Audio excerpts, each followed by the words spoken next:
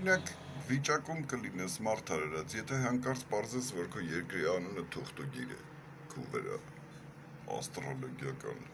թուղթուգիր ռազմաքաղաքական աշխարհաքաղաքական թուղթուգիր, ասենք Հայաստան Ուզբեկստան, Ղրղզստան, Թուրքմենստան, Ղազախստան,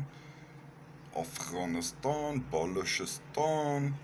Քուրդստան, Ազերիստան, Հայաստան։ Ու ամբողջ աշխարհն ասում է, այ մարդու երկիր Արմենիա։ Հələ մի հատ մի րոպե սպասի, դու գուցե Հայաստան չես ասում ես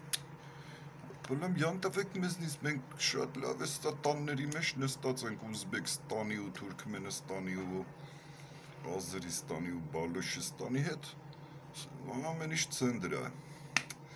բայց մեր երկրի անունը հայք է ու դա նշանակում է հայ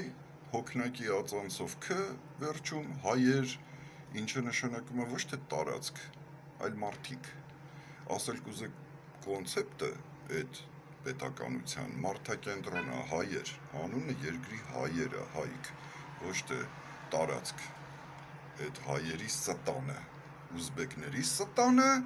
բալոշների ստանը։ այս բաների մասին արժի մտածել, էլի սիրելիներս, ես լուրջ բան եմ ասում։ Հայաստան անունը հպարտորեն երբ որ կրում ես գլխիդ, մի հատ ընես թուղթուգիր ես աշխատացնում